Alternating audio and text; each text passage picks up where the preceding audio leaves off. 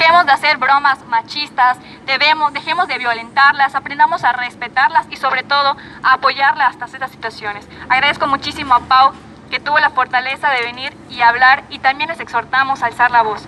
También hemos dicho que de nada va a servir que todas las víctimas alcen la voz como institución educativa no tiene el compromiso de atender estos casos. Hoy estamos aquí, convocó la comunidad de la preparatoria número uno, sin embargo estamos hablando de chicos que todavía están aprendiendo a hacer este tipo de manifestaciones y como colectivo Guay Sin Acoso los estamos apoyando el día de hoy. Queremos, para empezar, ya es muy urgente que salga el protocolo sobre violencia de género en la universidad. Eh, en días pasados salió eh, la aprobación para que se someta a votación ante el Consejo Universitario. Es de urgencia porque incluso como universidad es una herramienta para saber cómo atender estas situaciones dentro de la universidad.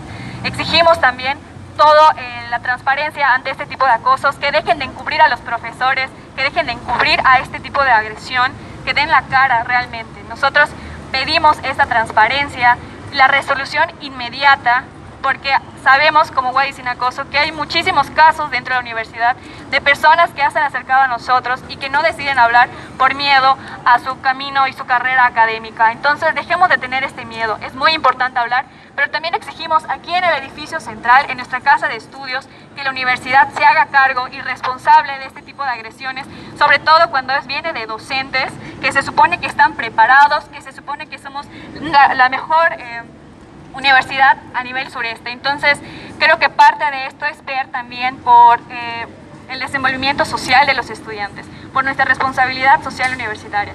Entonces, exhorto a todos a hacer una autoevaluación y en la misma universidad también que prepara a los docentes para este tipo de atención. Pau, ¿quieres decir algo más? Muchas gracias chicos y a seguir, a seguir.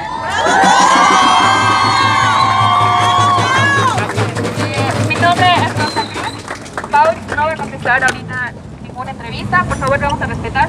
Aprendamos con el ejemplo a tener, eh, pues ser fuertes con este tipo de violencia. Vamos a respetar a la víctima. sean respetuosos. Así es, por favor. ¿Mencionabas que hay más, casos en la universidad?